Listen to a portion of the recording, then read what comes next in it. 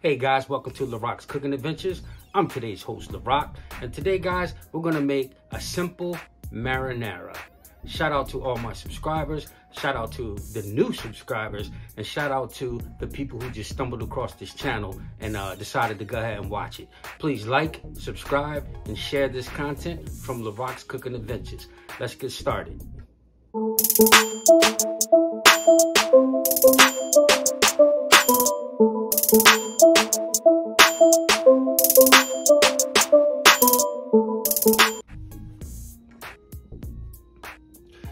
Okay, guys, what we have for ingredients is two 20 ounce cans of 28 ounce cans of Roma whole peel tomatoes.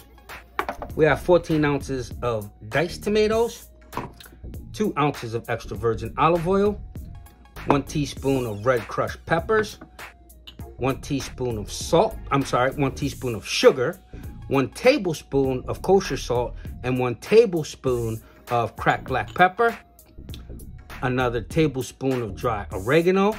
We have two, four, six, eight pieces of garlic, which we're gonna slice thin. And we have some fresh basil, which we'll julienne. Okay, guys, what we're gonna do is slice this garlic. But while we're slicing the garlic, we're gonna take the oil and put it in our pan and get it, uh, not really, really hot, but warm. We're gonna get it lukewarm so that it's just warm enough to saute off the uh, garlic okay? A lot of recipes out there. You'll you'll google or whatever. You'll see that they have uh onions in their recipe. But we're not going to use onions in our recipe because we want to taste the flavor of the garlic. And you use onions in tomato sauce okay? So don't don't fall for those bogus recipes out there. You want to slice these really really thin? Now some people prefer to use crushed so if you wanted to use a crush, I like mine sliced for marinara so that you can actually see it. But if you wanted to have it crushed, what you would simply do is take a peeled piece of garlic. We'll use this end. Flatten it down. Oh, they use two pieces. Flatten it down with your blade and then cut it. Right? Like that. And then go again and then go again and then go again. Right? I am going to go ahead and use that though. I'm going to take this big piece out.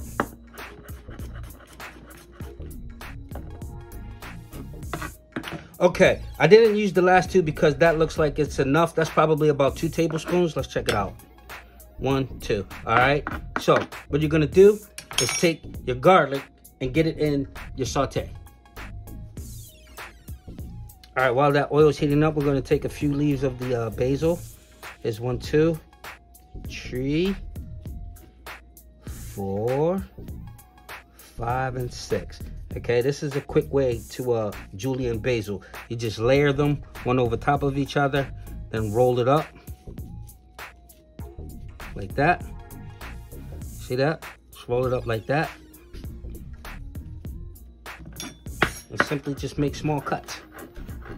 Julienne chiffonade basil. Okay, fancy terms for saying sliced basil. Slice really fine, okay? Then just open it up like that. And that should be plenty for this recipe. It's nice and fresh. I can smell it. Mmm, smells good. All right, guys, let's go over to the stove and get this thing popping. All right, so we're gonna go ahead and add the garlic. Now you just wanna saute this until it gets translucent, which is like kind of like a see-through color, okay? Like that, boom. And then we're gonna go ahead and add in our spices. We wanna get those cooked up. Cooked up. Like that, like that, like that. Okay, you guys see that? All right. The reason why we wanna add these herbs and uh, spices now is because we want them to activate immediately. Now, we're gonna add our uh, tomatoes in shortly. Just let this saute a little bit longer, just a little bit more. Okay. That's about where you want to go. We'll add the first 28 ounces of plums, Romas. Okay. like that. Then our second can, like that. Oh, she smells good. That garlic, mm wee. Okay. Then we're gonna add in our diced, just to add a little bit of bulk. And this dice did have uh, garlic in it, so there's a little bit more extra oomph. So what we're gonna do at this point is bring this straight to a boil. We're gonna let it boil for about 10 minutes, then we're gonna reduce the heat and then let it simmer for about at least 30 minutes. All right, so at this point, you wanna raise your temperature, get it up, and bring this to a boil. All right, guys, this marinara is at a boil. Make sure you're standing over top of this uh, saucepan, okay? Because you don't want the bottom to burn. So we're just gonna let it boil for a good five to 10 minutes.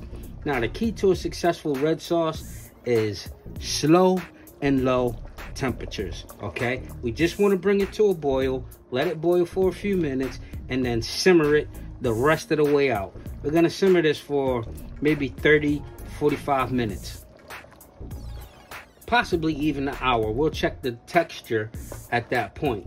But you guys, you guys see these uh, slices of garlic in here?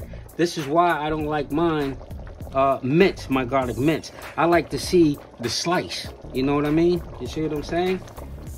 we're just gonna boil this a few more minutes and then let it simmer down and these tomatoes will start to break up a little bit. And that, but that's also another reason why I added those uh, diced tomatoes. This is this is home style.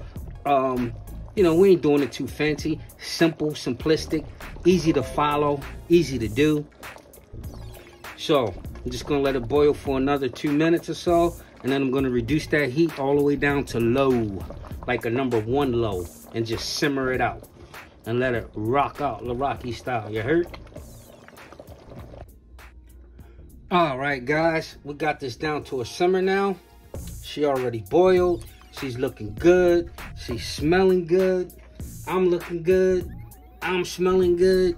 Just gonna add a uh, tablespoon of this here fresh basil. I'm gonna save the rest for later, for a garnish, for the picture of this finished product. Okay, boom. So that was just one tablespoon and like I said, we'll save the rest for later. And guys, you know, if you watch this program, you know I really don't have recipes because I never use them. I just know what goes in them and the and the items that I make. So as I'm going through these, you know, more recently I started uh, measuring this stuff out so that we could have a specific science to these recipes here on LaRock's Cooking Adventures. Now you see these tomatoes starting to break up. That's what you want. We're just gonna um, simmer this for 30 minutes. I'm gonna set a timer. That's 20. That's 30 minutes. Okay, timer's on and set. And we're just gonna let it simmer out and do what it do. Now, earlier I was talking about the onions. Um, if you look online, you'll see lots of recipes that say add onions. Well, that's not what you want to do. It's really not. You don't you don't want onions in your marinara sauce, okay? Where you want onions is in your tomato sauce. Okay? So shout out to all those bad recipes out there. You want garlic in your marinara. Okay? You want garlic and marinara. You want onions and fatback and tomato sauce. Okay? So don't fall for those tricks out there, guys. Don't don't do it. Now, if you like onions, okay, you can go ahead and put some in. But for real, for real, yeah, this don't need onions. Not at all a lot of these recipes these days are, are fluky. They just flakes. I, I don't know where these guys are getting this stuff from. They just, I guess essentially,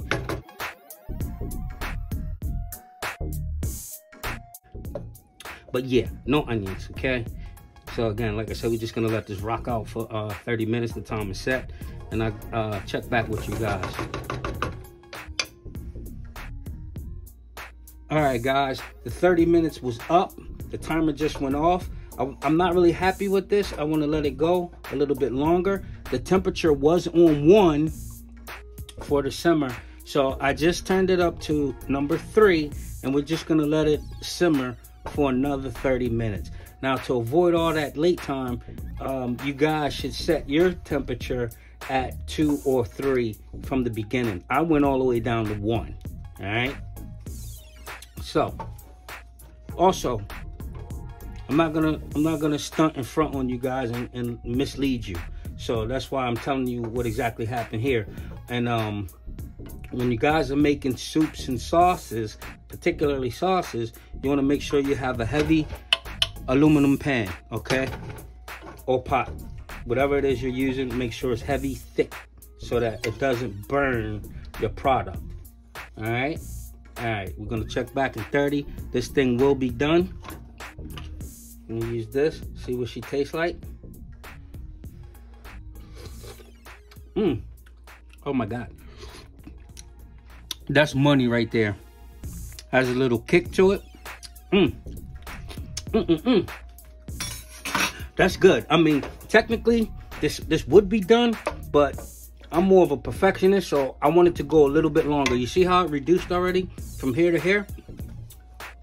We're just gonna let it go for a little bit longer on uh, number three, temperature number three. See you back in a minute. All right, guys, that second 30 minutes is up.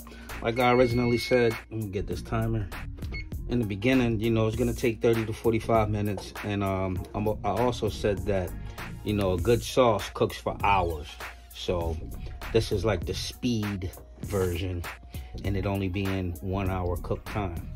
Uh, looks good.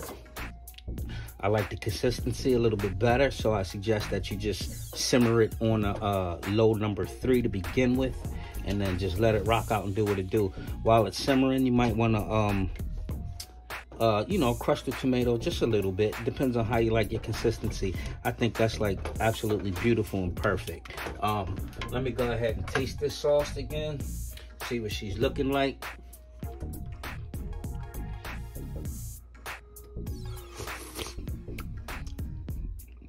Hmm.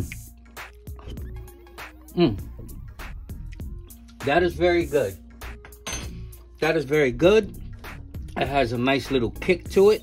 So um, I suggest to you guys, if you're not one that's into, uh, I don't want to call it spicy, but you definitely can taste that cracked uh, pepper and those red uh, red crushed pepper flakes.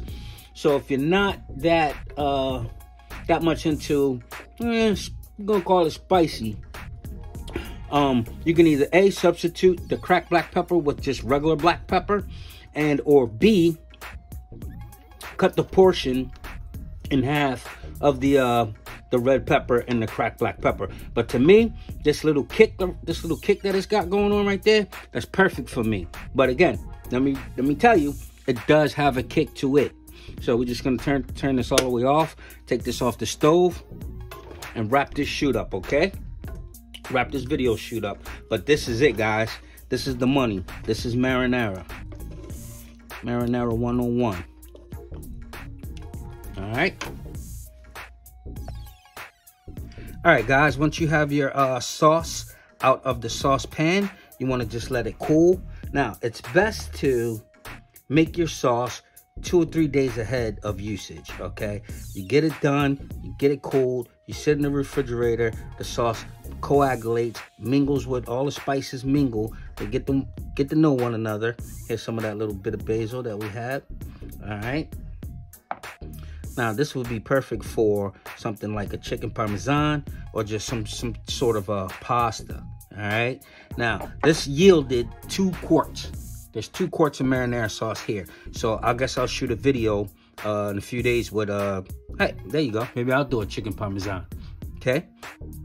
Guys, if you like this video or if you like this channel, please subscribe, like, and share to LaRock's Cooking Adventures. I want to take a second to thank you all for watching this product and this program.